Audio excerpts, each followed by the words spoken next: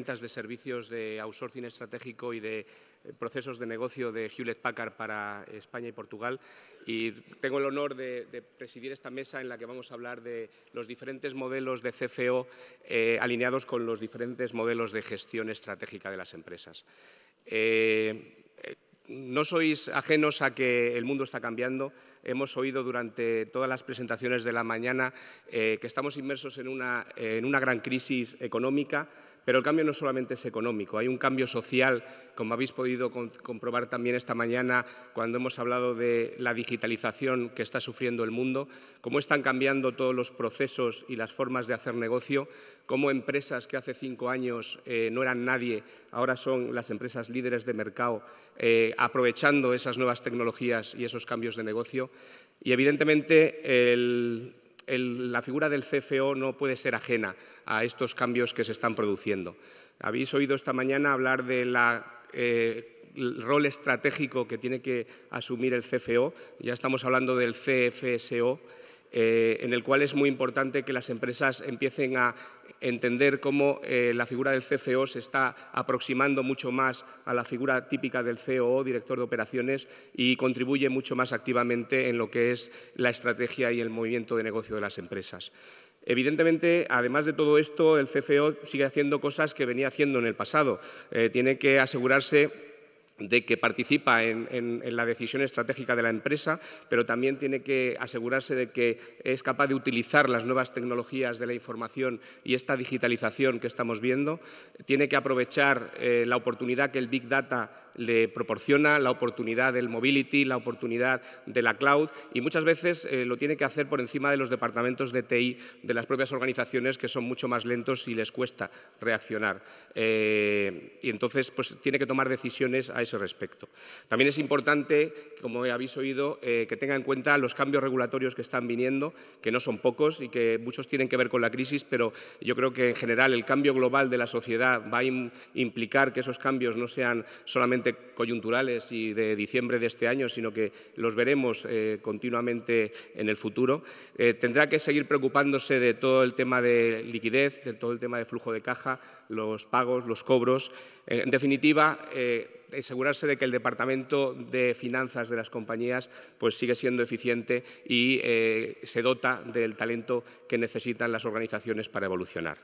Eh, en esta mesa vamos a hablar de un poco el, siguiente paso, es decir, cuáles son, digamos, los distintos estilos eh, de CFO que son necesarios para los diferentes modelos de estratégica empresarial. Y para ello contamos en la mesa con don Francisco Martínez Davis, que es el director general económico financiero del Metro de Madrid, que va a compartir con nosotros cuál es la problemática de la figura del CFO en el sector público y en concreto en, las empresas públicas. También contamos con don Enrique Sainz, que es socio del área tecnológica de transformación financiera de Deloitte eh, que Enrique nos va a dar su visión horizontal de cuáles son esos estilos de CFO y cómo eh, se adaptan a las diferentes necesidades estratégicas de las empresas. Y también contamos con don Juan Pablo Herrera, que es eh, CFO de, de SAGE en España y que nos va a contar desde la perspectiva de una entidad local que pertenece a una gran multinacional, cómo esos eh, eh, aspectos de estrategia eh, juegan en el rol del CFO. muchas gracias. Le cedo la palabra a don Francisco Martínez Davis.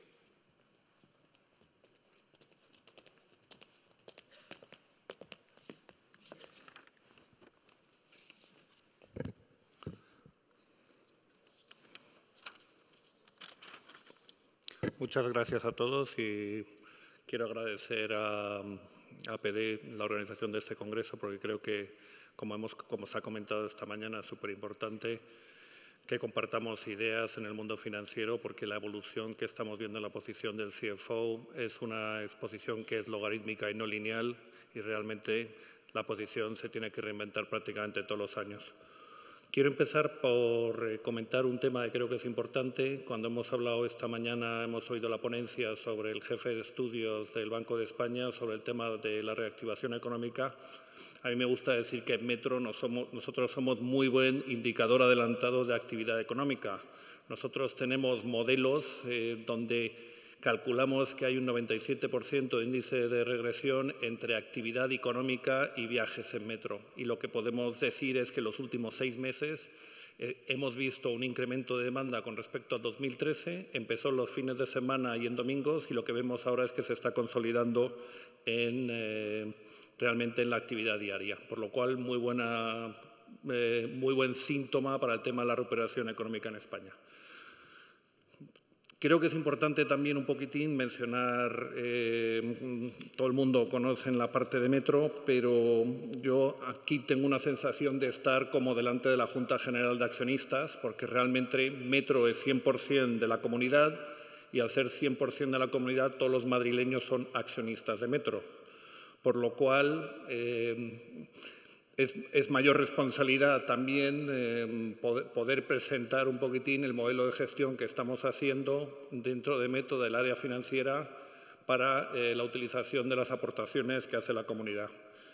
Eh, Metro mm, tiene un balance de aproximadamente 2.000 millones, tiene una plantilla de 7.000 empleados y un presupuesto anual de aproximadamente 1.000 millones.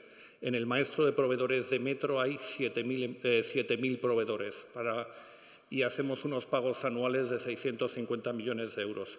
Un dato muy importante que creo que no es conocido, es decir, del presupuesto de Metro, el 30% viene de, los ingresos tarifarios por viajeros, mientras que 700 millones vienen de aportaciones de la comunidad.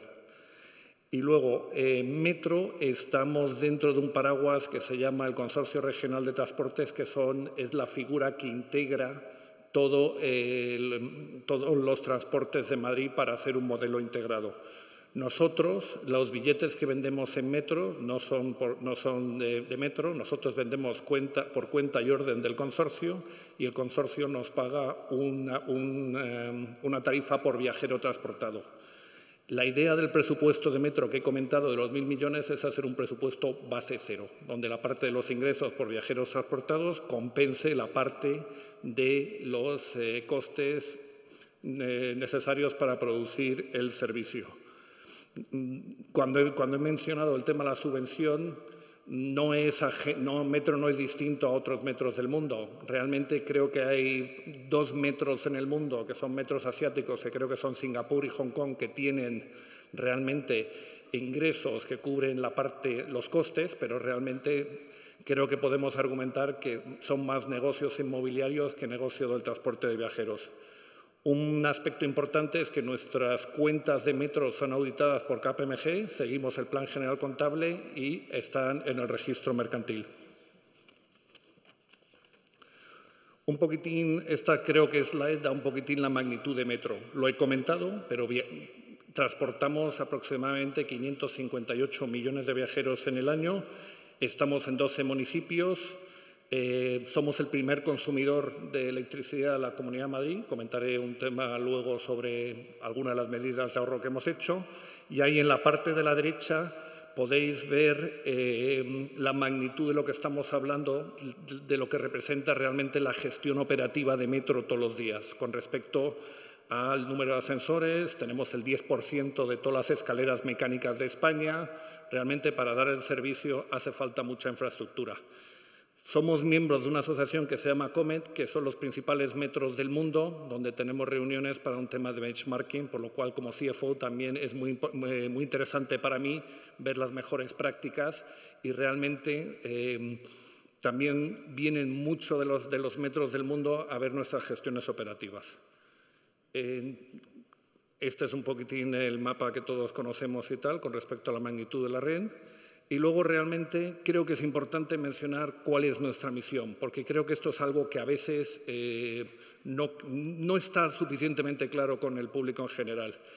Queremos ser la, la, opción de movilidad preferente en la región de Madrid, proporcionando un servicio de transporte basado en la calidad y la eficiencia. Nosotros tenemos el concepto de clientes, que es algo que discutimos constantemente en Metro en el Comité de Dirección. Sabemos que los clientes tienen distintas opciones de movilidad y lo que queremos hacer es ser la opción preferente y para eso queremos hacerlo basado en el servicio la calidad y la eficiencia. Dentro de los tres ejes que hay, donde realmente Aquí es donde ha cambiado un poquitín la, parte del CFO. La, la, función fácil sería quedarse en el 2. Maximizar la eficiencia de los recursos, el informe típico de control de gestión, pero realmente la labor del CFO tiene que ir mucho más allá. Realmente, ahora mismo, cuando, estamos en el comité de dirección, se nos pide que opinemos sobre temas de calidad de servicio, sobre, sobre imagen, sobre, sobre, reputación, no solo un tema ya de la eficiencia de los recursos y control de gestión. Famoso hacer más con menos. Tenemos que hacer más y realmente aportar valor como socio estratégico al consejero legado en estas áreas. Desde el punto de vista financiero, eh, somos una empresa que tiene carácter público y estamos sometidos a un altísimo nivel de exigencia. Somos parte de la marca España, podríamos decir también que somos parte de la marca Madrid, por decirlo de alguna manera. Hemos firmado un convenio de, colaboración con INECO para ir de la mano con ellos para, proyectos internacionales y eh, el puesto de mando que tenemos en la estación del Alto Arenal ha recibido 500, 500, visitas de delegaciones internacionales de los países más variopintos que os podéis imaginar. Por ejemplo, creo que han venido eh, de Vietnam, Kazajstán, realmente todas las semanas tenemos bastantes eh, visitas internacionales. Hablamos de eh, la, función financiera es cada vez más transversal, por lo cual tenemos que conocer las áreas operativas de la compañía, especialmente la parte comercial y la parte de operaciones. Tenemos un apalancamiento operativo muy alto, por lo cual la gestión de los gastos variables es muy importante. Eh, utilizamos un cuadro de KPIs operativos y financieros que presento regularmente al Comité de Dirección y al Consejo de Administración eh, para, para, que sirven de base para la toma de decisiones. El 100% de la financiación que recibimos en Metro es bancaria y nuestro objetivo, como cualquier financiero, es diversificar las fuentes de financiación. Uno de los problemas que tenemos en el Asset Liability Management como CFO es al financiar eh, los planes de inversión que tenemos con deuda bancaria, la deuda eh, tiene vencimientos entre 5, 7 y 10 años eh, por parte de los bancos. En cambio, estamos financiando activos que tienen vidas amortizables entre 15 y 20 años, por lo cual hay un mismatch. Estamos evaluando distintas alternativas de financiación y una de las discusiones que estamos viendo es una posible emisión de capital. Eh, eh, en los mercados de capitales. El canal de Isabel II anunció recientemente que va a salir al mercado y nosotros estamos evaluando como fuente de financiación. Y luego eh, hemos visto en S&P que decían que en España como porcentaje de financiación el mercado de capitales es muy bajo y estamos de acuerdo y realmente estamos viendo si podemos salir al mercado para diversificar y alargar el vencimiento de nuestra, de nuestra deuda. Desde el punto de vista de gestión, siempre hay que tener en, consideración tres ejes, que son el eje financiero, el eje medioambiental y el eje social. Yo eh, antes de venir a Metro he estado 22 años en la industria privada y en banca y realmente creo que, si me preguntáis cuál es el mayor proceso de adaptación, es poder integrar la parte económica. Creo que en la industria privada está muy clara, rentabilidad para el tema de accionistas, podemos poner todos los KPIs, pero aquí en el modelo de gestión también hay que tener en tema los impactos ambientales y los impactos sociales. En el plan en el plan económico tenemos un plan estratégico a tres años, tres líneas de actuación. Creo que son todas las empresas en España eh, que después de, la crisis en el tema del ahorro, incrementar nosotros la parte de los ingresos no tarifarios y mejorar la productividad.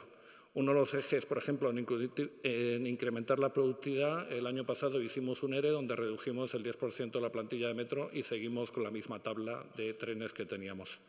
Por lo cual, esas son las tres líneas de actuación que tenemos desde el punto de vista financiero que creo que a nadie le sorprenden cuando las veamos, cuando se ven ahí. Uno de los temas que hemos intentado hacer es para, para que la estrategia no solo se quede en el nivel del comité de dirección, hemos hecho este, esta transparencia y hemos hecho sesiones de comunicación con los empleados para que realmente se sientan partícipes de la empleada, de, la estrategia, del plan estratégico, por lo cual Hemos hecho los ejes estratégicos con las acciones a desarrollar y lo hemos hecho en un método visual que representa un plano de metro y realmente hemos involucrado a los 7.000 empleados de metro en el tema de la estrategia. Luego, una parte que es importante es decir, eh, nosotros, como hemos comentado, recibimos las aportaciones de los impuestos de los madrileños, pero uno de los objetivos que tenemos es incrementar los ingresos tarifarios, los ingresos no tarifarios. Por ejemplo, aquí en el tema de naming, eh, habéis visto que hace dos años firmamos un acuerdo para el naming de la línea 2 de Vodafone. Eh, seguimos viendo y discutiendo con, compañías esta posibilidad y han venido de varios metros en el mundo para preguntarnos sobre este modelo de gestión. Hemos hecho eventos corporativos, por ejemplo, eh, con Mini hicimos un evento en la estación de Chamartín que, que obtuvo varios premios en revistas de publicidad. Em, locales comerciales, eh, hemos sacado un concurso recientemente para la estación de nuevos ministerios y vamos, va a ser la primera línea, de, la primer, el primer metro del mundo que tenga un gimnasio en, breve, en un par de meses en la estación de nuevos ministerios. Por lo cual siempre estamos buscando eh, los ingresos no tarifarios porque cualquier ingreso no tarifario que, que obtengamos reduce los importes de las subvenciones. Una parte muy importante para nosotros es la parte internacional. Eh, aquí podéis ver el catálogo de servicios que tenemos en la parte internacional, consultoría, ingeniería y tal, y esto es donde vamos con la mano de INECOS. Y para que veáis un poquitín también dónde estamos en la parte internacional, ahí realmente es donde hemos hecho algún proyecto de consultoría eh, en, el mundo, por lo cual podéis ver que con la excepción de Estados Unidos prácticamente estamos en, todas las partes. Luego, eh, la segunda pata que comentaba que, hay que tener en cuenta es la parte social. Tiene muchísima visibilidad la parte de metro, medioambiental. Tenemos 50.000 seguidores en Twitter, tenemos los canales de Facebook y realmente eh, hay muchísima visibilidad con todo el tema ambiental. La media, eh, nos preguntan sobre el tema de utilización del agua, el tema del consumo energético, que si estamos haciendo eh, concepto de metrolineras para intentar eh, eh, utilizar la energía los frenados para, los coches eléctricos. Realmente la parte, la parte medioambiental tiene mucho impacto en la gestión de, como CFO de la parte de metro. Un ejemplo de la gestión medioambiental, dentro de los planes de ahorro, somos el principal, tenemos 80 millones de euros aproximadamente, que se dice fácil, 80 millones de consumo anual de, de electricidad. Por lo cual, cuando analizamos el P por Q, la parte del P, pues lo que hemos hecho es, hemos eh, diseñado un nuevo sistema de contratación donde utilizando el mercado de futuros y el mercado de spot, pues eh, em, aprovechamos, intentamos aprovechar coyunturas de mercado donde pensamos que el precio de energía es particularmente bajo. Y con respecto al, Q, la cantidad, pues ahí podéis ver que en el año 2003 hay 145 millones de megavatios sobre un total de 800, por lo cual es un 20% de ahorro. Hay prácticamente 67 medidas de ahorro de energía dentro de Metro, por lo cual es importante, mm, la magnitud, los números es importante. Y finalmente, la parte social, eh, tenemos tiene mucho impacto, Metro se acerca mucha gente a nosotros, eh, hemos implementado 102 acciones y lo que hacemos es el tema de responsabilidad social corporativa, una evaluación de los proyectos desde el área financiera para ver cuáles, cuáles tienen mayores impactos. Finalmente, como conclusiones, mm, hay que decir que nunca se puede ponderar más un eje que otro de los tres que, he comentado y siempre hay que buscar un equilibrio entre los tres. Para todos nosotros como financieros siempre estamos acostumbrados a hablar del net present value, del IOR, del tema del payback, pues lo que tenemos que hacer muchas veces es eh, un tema de change management y educar a una compañía donde realmente la parte principal es una parte de ingeniería, por lo cual eh, paso mucho tiempo con los ingenieros con un tema de eh, educación sobre modelos de optimización financiera. Luego, el tercer punto es tenemos que buscar mayores eficiencias, Fuentes de ingresos, ingresos no tarifarios, como he comentado antes. Uno de ellos es el plan inmobiliario de Metro. Metro tiene 100.000, tenía, bueno, hemos vendido dos propiedades, tenía 100.000 metros cuadrados dentro del anillo de la M30. Como compañía industrial realmente no tiene ningún sentido, por lo cual hemos, hemos puesto eh, en marcha un plan inmobiliario y hemos vendido dos de los cuatro ámbitos que teníamos, por lo cual seguiremos haciendo este tema y cualquier ingreso de esto es eh, siempre manteniendo la calidad de servicio y la seguridad ferroviaria. Luego, eh, seguimos poniendo en valor el tema de nuestra marca, dentro y fuera de España, y decir que hemos tenido 87 millones de euros de ingresos no tarifarios desde el 2008 y esta continúa siendo una de nuestras grandes eh, labores del Comité de Dirección de empujar. Y finalmente, para, como CFO, para poder tener el tiempo necesario para poder ser el business partner, hay que tener eh, un buen equipo, un buen RP, para que realmente en la parte financiera tengas el soporte de que realmente la parte de los números y la parte de la contabilización y el tema de la contabilidad analítica está bien, porque tú realmente cada vez tienes más dedicar más tiempo a otras áreas. Y termino un poco con habéis visto la campaña publicitaria que hemos sacado, cada vez hay más metro de ti en Madrid, por lo cual esos son los challenges que hay en la gestión del CIEFO. Muchas gracias.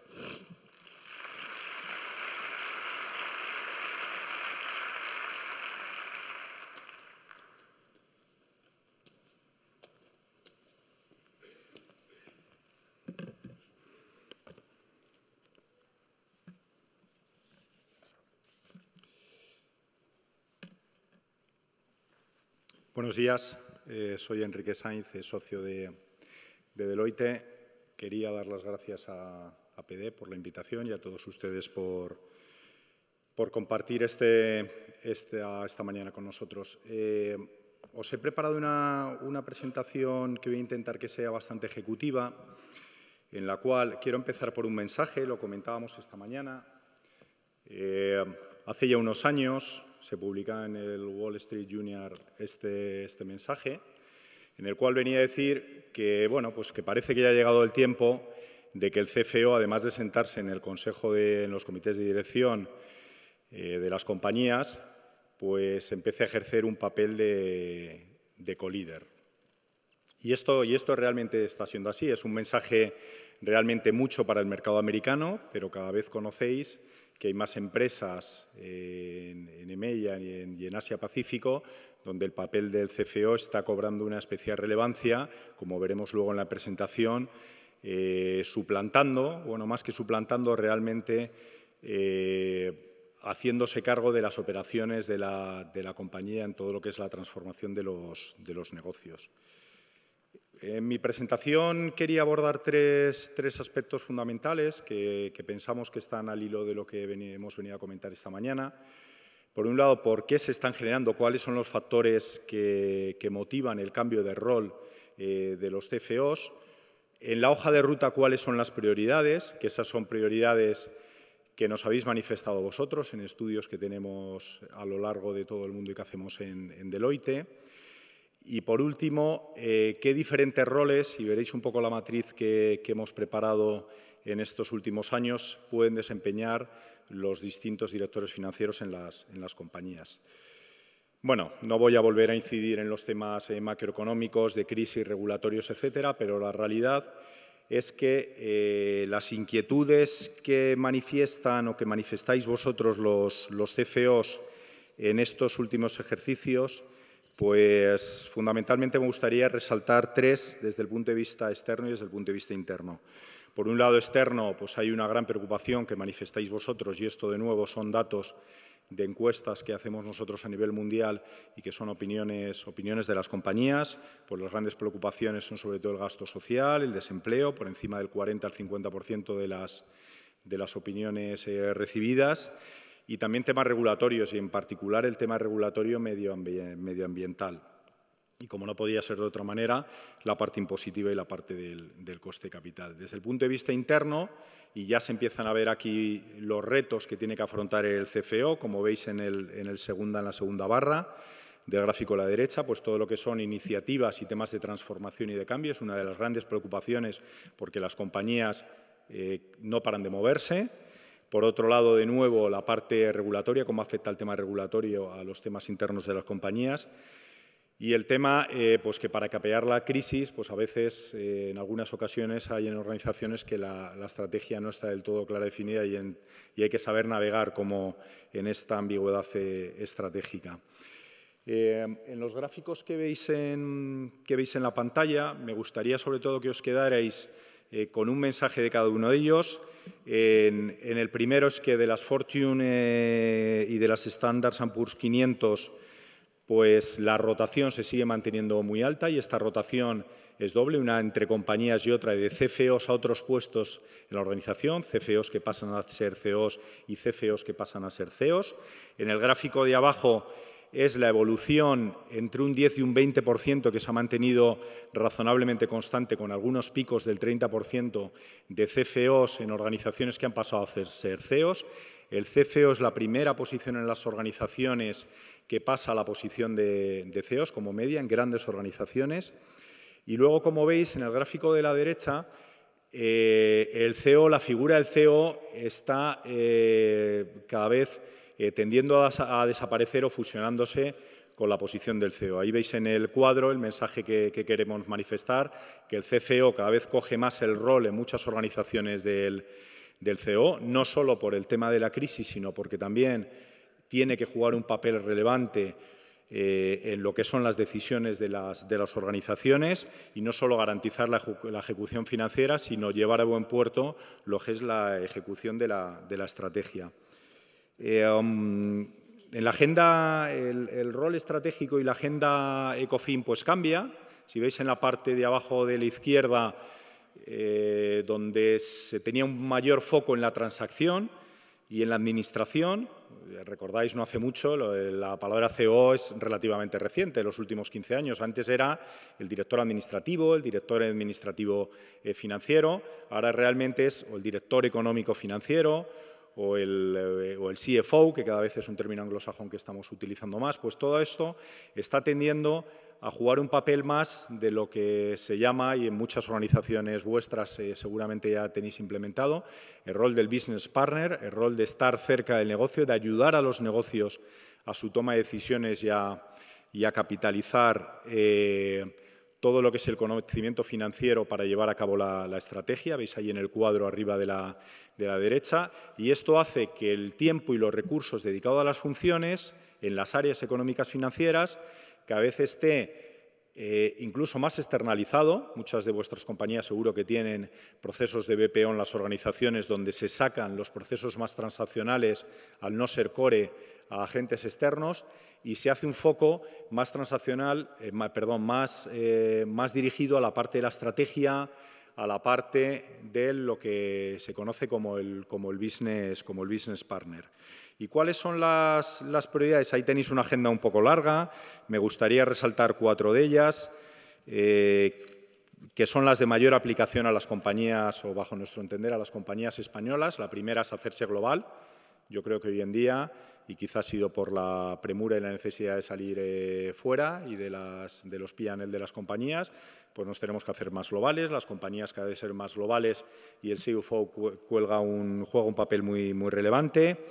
Eh, la sexta, donde decimos, no, es que el resto sean, menos importantes, pero por resaltar tres o cuatro, ir un poco más deprisa, pues toda la parte de inversión de capital, esta siempre es absolutamente claro, inversión de capital con los business case eh, asociados, la parte regulatoria que ya habíamos eh, comentado, el tema de los riesgos, no simplemente quedar en cómo se identifican y cómo se van a cumplir los riesgos, sino que hay que identificarlos y hay que pasar a la acción para ver cómo mitigarlos. Sabéis que no solo son los riesgos financieros y de crédito, está toda la parte de riesgos operativos, riesgos medioambientales, riesgos de, ongoing de las, de las, compañías. Este es un tema eh, crítico.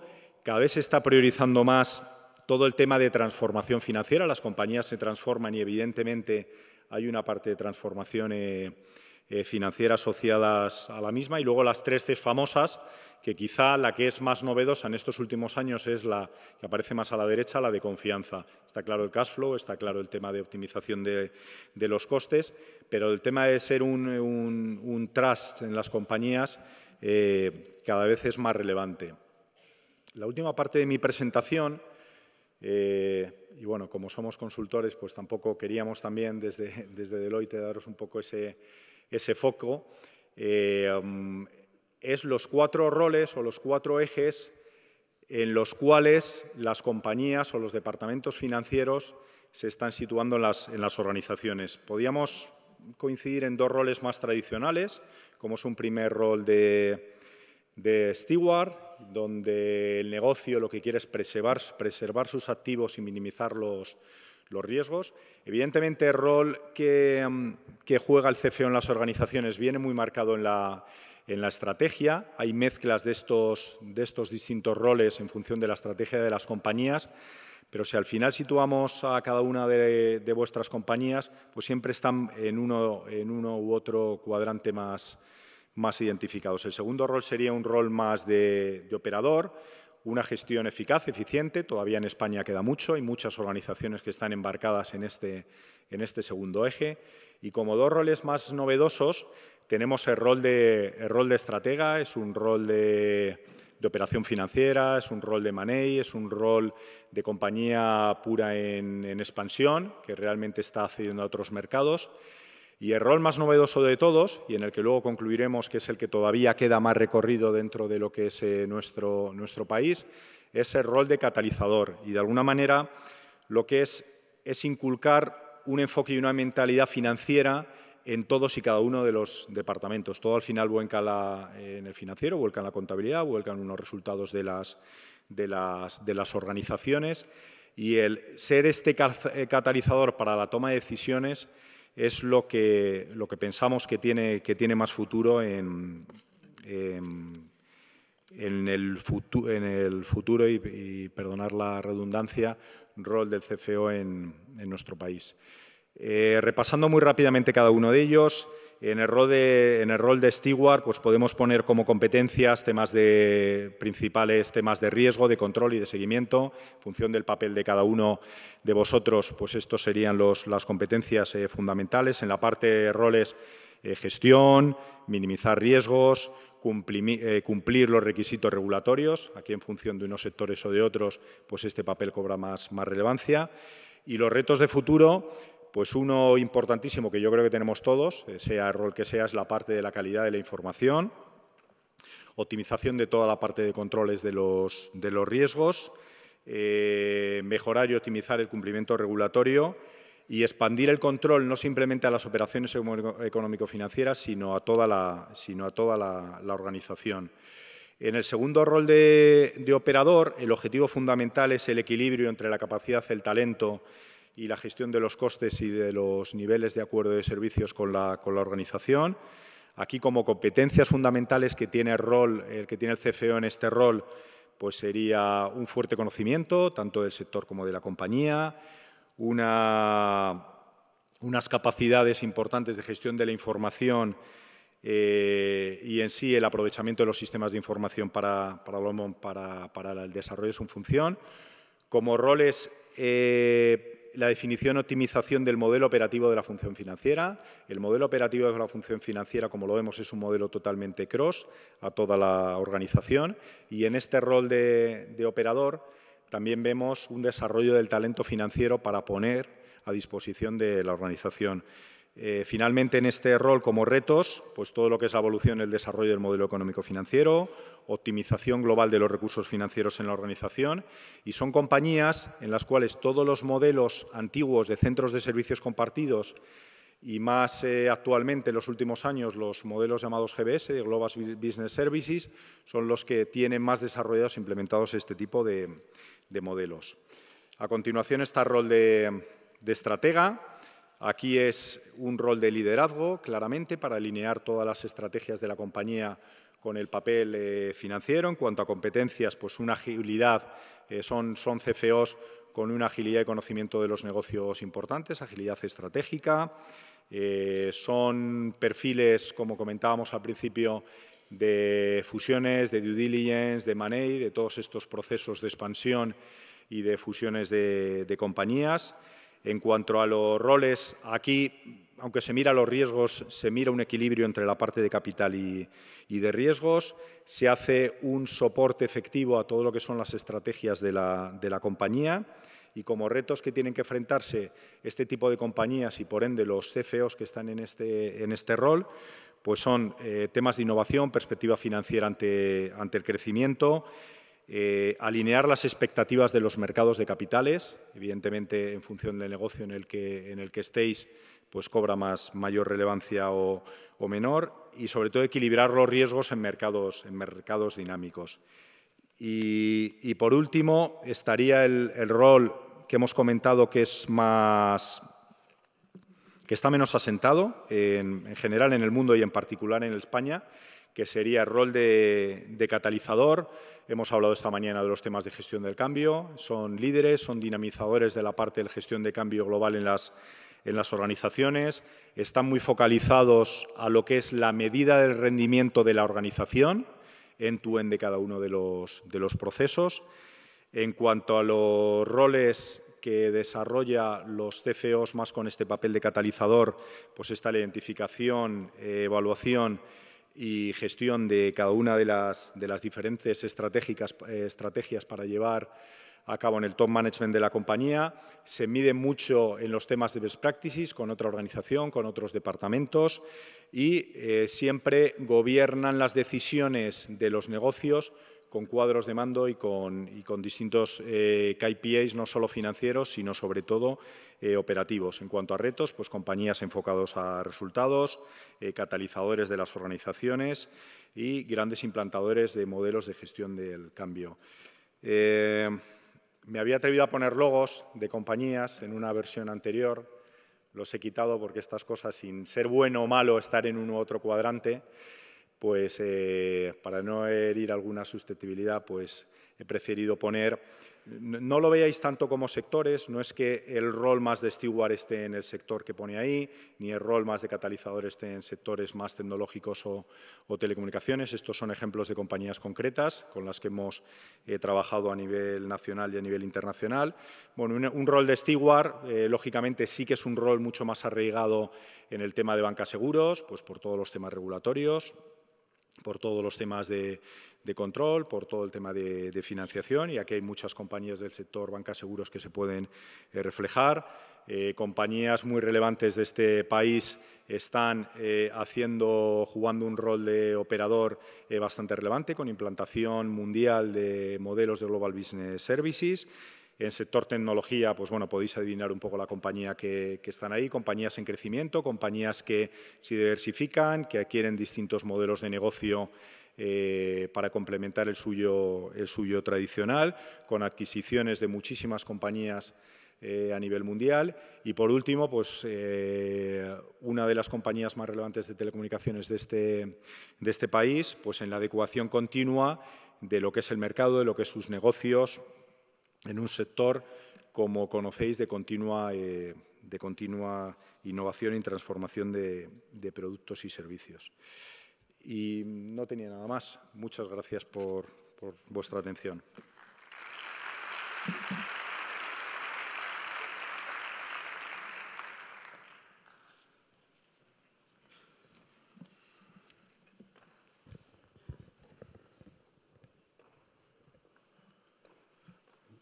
Buenos días a todos. Eh, me llamo Juan Pablo Herrera. Em, estoy encantado realmente de estar hoy aquí en este primer congreso de, CFOs organizado por APD. Agradezco a APD su invitación y a todos ustedes también por asistir. Y bueno, pues entre esos diferentes modelos de diferentes tipos de CFOs que estamos viendo en esta mesa, el mío pues es el de CFO dentro de una compañía global, dentro de una compañía multinacional y en concreto el CFO de un país o como bueno, pues se dice en el argot de una operating company. ¿no? Yo podría hablar mucho sobre diferentes aspectos y cómo ha evolucionado el rol de este tipo de CFOs eh, bueno, pues recientemente, pero he querido coger el toro por los cuernos y realmente hablar de lo que bueno, pues está en el título del Congreso, es decir, del CFO al, al CFSO, es decir, qué rol puede adoptar el CFO en lo relativo a la estrategia. ¿no? En concreto pues en este tipo de compañías, pero seguro que hay muchas cosas en la presentación que son aplicables a otros tipos eh, de compañías. Y también me ha gustado mucho que bueno, pues me antecediera en las presentaciones eh, Sandra Moreno de Accenture y hablara precisamente de eso, de esa evolución, de ese viaje del CFO hacia roles más estratégicos y comprobar que, bueno, pues que algunas de las cosas que yo voy a contar aquí y que se basan fundamentalmente en mi experiencia dentro de SAGE, pues, eh, bueno, pues están en esa agenda que ha comentado, eh, que ha comentado Sandra y que por tanto bueno, pues no, no voy muy, muy descaminado.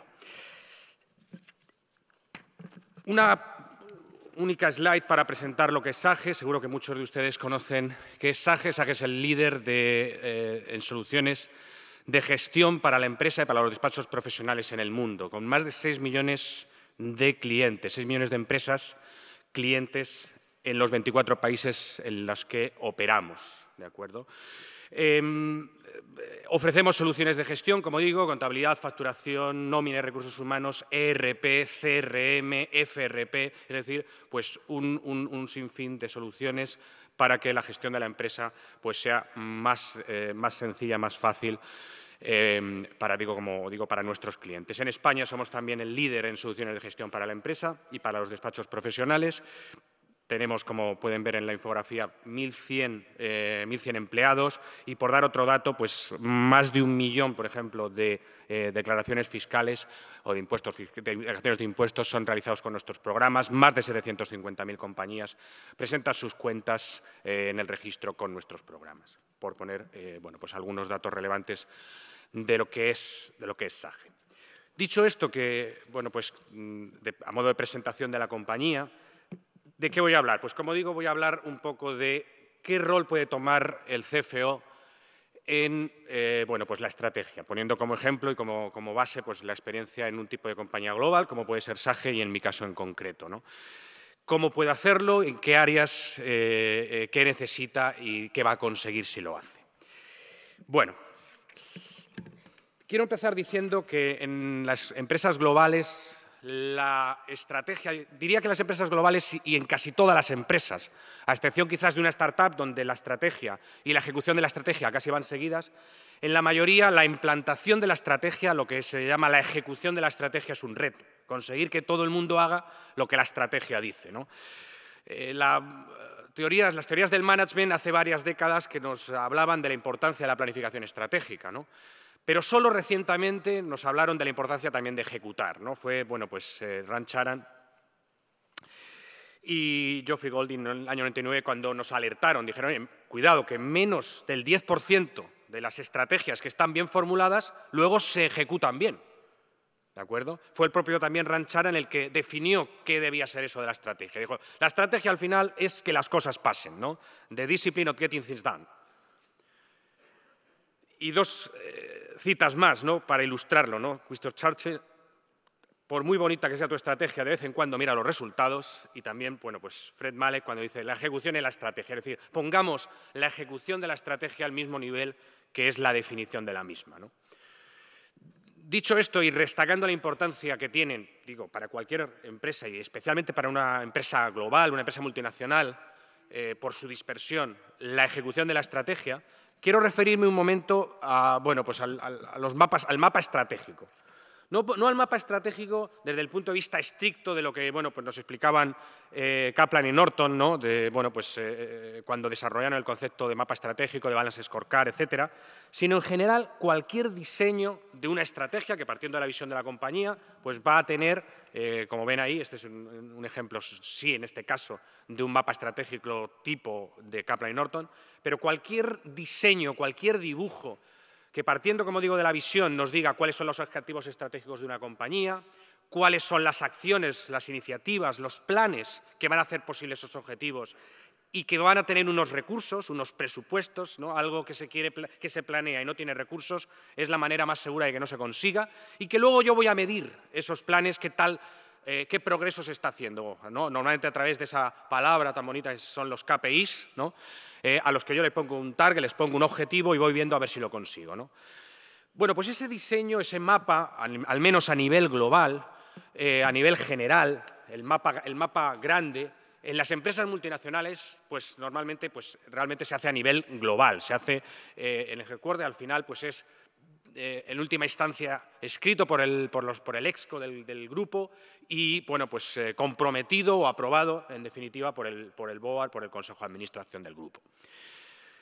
Aquí comparto con, ustedes la estrategia o ese mapa estratégico de SAGE, de, dijéramos, de la, la, pintura grande, y la puedo compartir con ustedes porque es público. Nosotros acabamos de anunciar los resultados la semana pasada, nuestro ejercicio fiscal cierra el 30 de septiembre, y bueno, pues la semana pasada, como digo, presentamos resultados y en el annual report nuestro, en el informe anual, y, por supuesto, en la conferencia que tuvimos con inversores y analistas, eh, dado que somos una compañía que cotiza en el FTSE 100 de la Bolsa de Londres, pues aparte de explicar el, performance del año, cómo había ido el año, también explicamos cómo va la estrategia, cómo va la, ejecución de la estrategia, cuál es nuestra estrategia y cómo está yendo.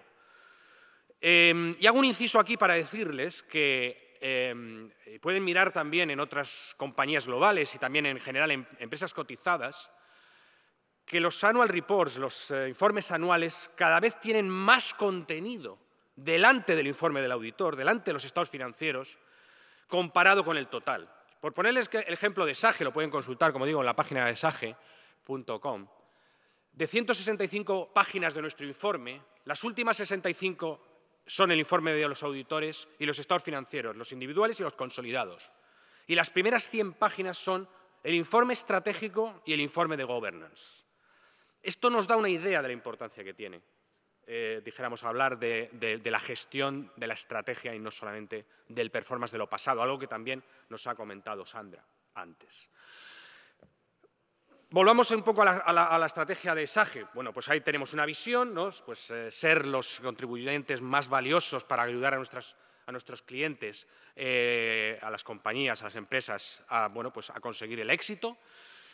Unos objetivos estratégicos, que en nuestro caso pues, eh, están para el ciclo estratégico actual, que va del 2012 al 2015, eh, bueno, pues en compartir con nuestros clientes los beneficios de la suscripción, capturar el momento tecnológico, el, momento de cambio tecnológico, focalizar nuestro negocio y crecer. Y que nos permiten haber tenido un compromiso con, nuestro, con nuestro board, nosotros no tenemos un accionista de referencia, prácticamente el 100% de, nuestras acciones están en free float.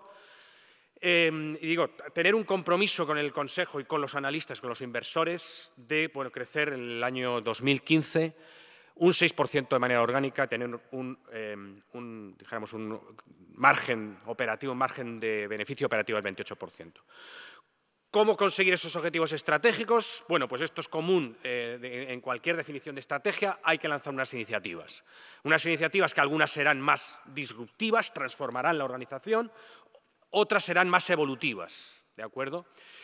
Y esas iniciativas, esos planes, pues estarán soportados normalmente en cualquier definición de estrategia con unos, lo que llaman unos enablers, unos facilitadores, ¿de acuerdo? Que suelen referirse a aspectos como personas, talento, Mm, posicionamiento, imagen de marca, experiencia de clientes, eh, M&A, si el M&A, es decir, si las adquisiciones y disposals de negocios, pues son parte relevante de la estrategia, los procesos de negocio, etcétera. Esto es, dijéramos, común. No, he querido detallar las principales iniciativas de nuestra estrategia o nuestros enablers, digamos, para no extender la foto. Pero este dibujo, y es el mensaje que quiero que se queden, en las empresas globales, pues suele estar a nivel global. Ahora bien, ¿cómo conseguir que esa foto global de la empresa multinacional, normalmente, en general cualquier empresa grande, realmente se ejecute bien. Esa dificultad que nos habían advertido em, eh, que solo el 10% de las empresas consiguen hacerlo. Bueno, pues hay un elemento clave dentro del ciclo estratégico, un proceso clave, que lo, eh, en principio lo, facilita, que es el proceso de business plan. El proceso de business plan, que es ni más ni menos que tratar de trasladar la dirección estratégica de una compañía en planes concretos, iniciativas concretas, dentro del ciclo, em, y que va a desarrollarse, digo, como carácter plurianual, en el caso, por ejemplo, de SAGE son tres años, y que va a tener iniciativas o planes más locales, iniciativas y planes más globales. ¿no? La, ponderación entre unos y otros va a depender de cómo descentralizada sea la organización, si tiene productos globales o no los tiene, etc. ¿no? Pero en general va a tener siempre de ambos. Y debe construirse, igual que la foto grande, pues se construye normalmente arriba la foto detallada, el business plan detallado se suele construir, dijéramos, bottom-up, es decir, debemos escribir los planes de manera que digamos claramente qué debe suceder, qué recursos, qué presupuestos hay que poner para que eso suceda ¿eh? y qué objetivos eh, nos marcamos para cada uno de ellos. Ahí está gráficamente gráficamente eh, un, dibujo de cómo puede evolucionar el proceso de un business plan, empezando pues, con, la recepción eh, de, esa guía, de esa dirección estratégica, cómo se desarrolla de manera local y cómo es revisado normalmente por la dirección del grupo, o bien sea primero por la parte regional y luego por la parte global, si, esa organización está organizada por regiones, o bien eh, primero por el segmento y luego de manera global, si está organizada por segmentos. Pero en general el proceso siempre va a ser el mismo. Ahora bien, una vez que se ha completado ese business plan, sabemos que esto no es nada más que el comienzo del ciclo. Tener un business plan, tener un documento de business plan y guardarlo dentro de, bueno, pues del despacho del CEO, una copia para el CFO, es la principal manera de conseguir que no se cumpla y que los objetivos no se alcancen. ¿De acuerdo? El business plan es algo que hay que ejecutar, hay que ejecutar, lo hemos visto antes, la importancia de la ejecución y que hay que monitorizar, hay que seguir para ver si se está consiguiendo los objetivos que nos habíamos marcado. Em, ¿Qué rol puede tener el CFO en este, eh, en este modelo de planificación y de ejecución estratégica? En las tres fases que hemos descrito. En la fase de planificación puede tener un rol líder, y esa es la experiencia que yo tengo en SAGE. Puede liderar realmente el equipo del business plan. El equipo del business plan, por definición, va a tener que ser un equipo heterogéneo, porque tendrá contribuyentes, aquí los eh, pongo writers, ¿no? contribuyentes tanto del negocio como de las funciones corporativas. Y probablemente tendrá, es el caso nuestro, pues un equipo core, en el que habrá, deberá haber alguien, dijéramos, una persona financiera que haga las proyecciones, deberá haber una persona de eh, inteligencia de negocio que aporte los datos, tanto internos como externos, que son relevantes para construir el plan, y tiene que haber lo idóneo, pues una persona que, dijéramos, que pueda ser el director de estrategia eh, eh, de la compañía, si existe, para, dijéramos, que pertenezca, que, forme parte de ese equipo core. El business plan puede tener también un sponsor, que puede ser normalmente el CEO, y habrá un team leader. Ese team leader puede ser el CFO. ¿Y por qué puede ser el CFO? Porque tiene algunas actividades, algunas, algunos skills, algunas capacidades que lo hacen posible, ¿no? en, en mi opinión. ¿no? Por ejemplo, tiene una capacidad eh, normalmente eh, analítica muy importante, ¿no? sabe hacer escenarios, comprende cuáles son los drivers que mueven el revenue, comprende cuáles son los drivers que mueven los resultados, cuáles son los riesgos, y gracias a eso y a su visión global de la compañía puede hacer challenge, puede retar las primeras versiones que se, que se puedan hacer del plan para mejorarlo. Y además tener una capacidad proyectiva de entender si las proyecciones que hemos hecho en ese plan tienen sentido o no tienen sentido. Ahora bien, necesita desarrollar nuevas cosas si realmente quiere liderar ese equipo.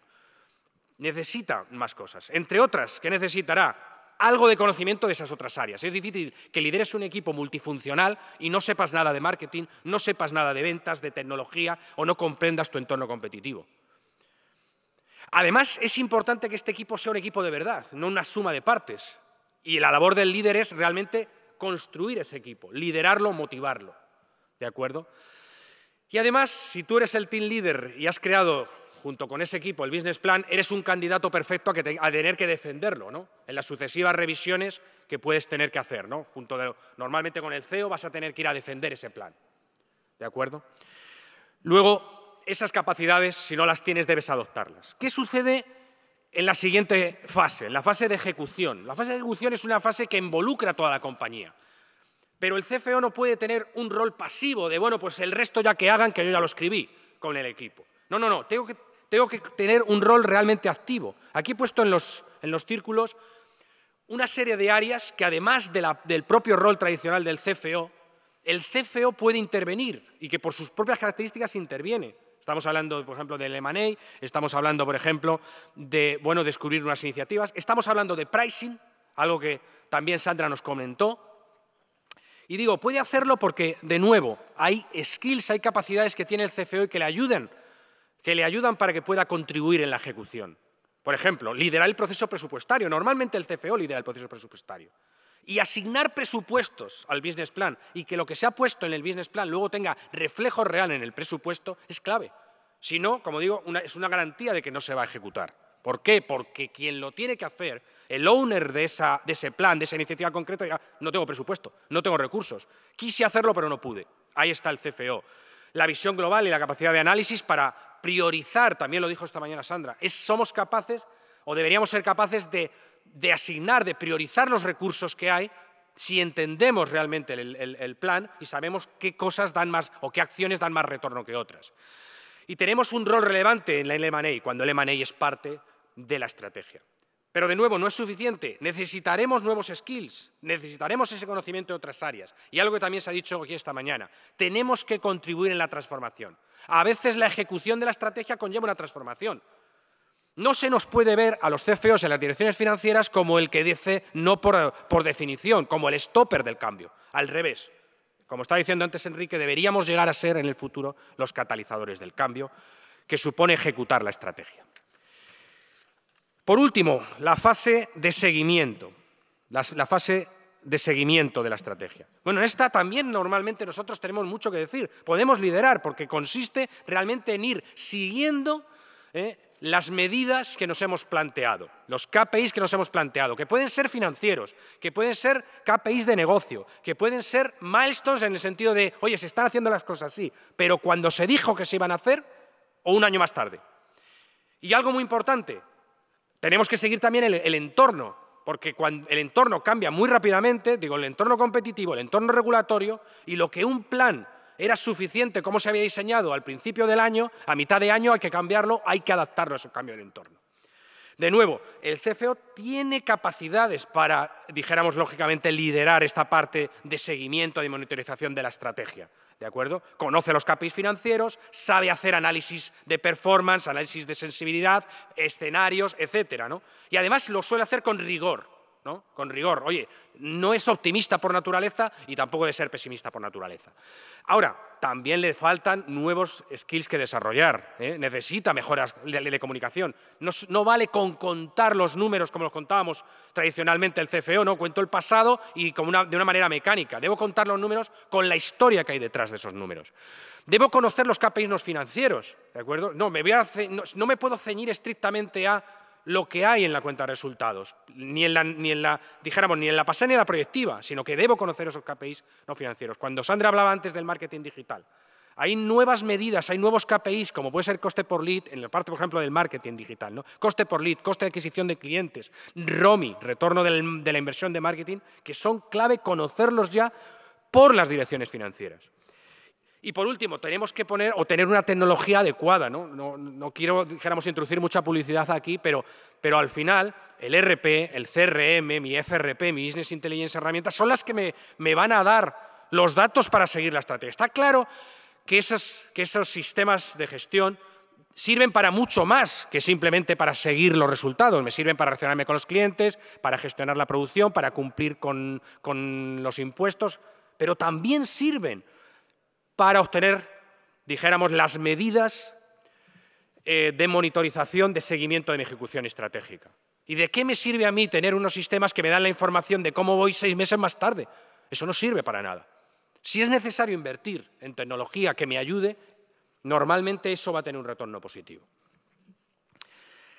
En resumen, el CFO, en mi opinión, en mi experiencia, puede ser un CFSO. Puede realmente liderar la estrategia y en la parte de las empresas globales, al menos en el diseño local de esa estrategia y ayudando en la ejecución y, por supuesto, en el seguimiento de la estrategia. Pero tiene algunas áreas de desarrollo, que son las que hemos comentado. Si realmente está dispuesto a, eh, bueno, pues, a desarrollar esas áreas, ¿qué puede pasar? Pues que tendrá una relación más estrecha y aportará más valor normalmente al CEO y, en su caso al Consejo de Administración, que va a tener unos skills que probablemente en el futuro va a necesitar, que va a tener normalmente más posibilidades de desarrollo dentro de la organización y en general de carrera. Y por último, y en mi opinión, que se va a convertir, como decía antes Enrique, no solo en el líder de la función financiera, que es lo que era, sino realmente en un líder dentro de la organización.